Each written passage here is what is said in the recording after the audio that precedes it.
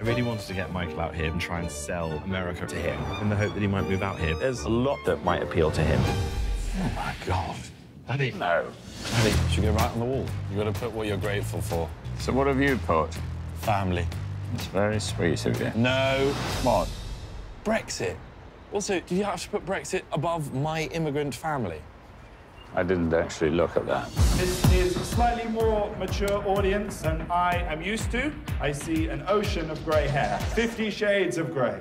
I am a huge fan of gangster rap. I used to be obsessed with the Spice Girls. Locked in the loo, 62. But most of the time in close quarters, I just use a knife. Now, legal in France, 15. Netflix and chill, 69. Today, I'm going to fulfill a lifelong dream, an amateur wrestling company. Hit me in the face.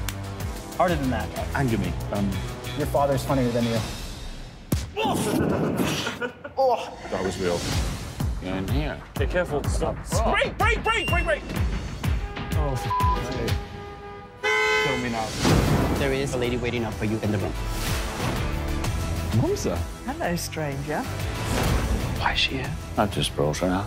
This is the lads and dads trip to Vegas. It's not lads and dads and mummy. One thing I'd be up for doing is Magic Mike. I quite like magicians. It's about to be a hot guy buffet in here!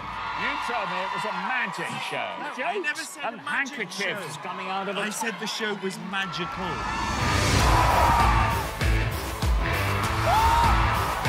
Nice shooting, cowboys. You touch me like that again, I'll give you the business end of this shotgun, boy.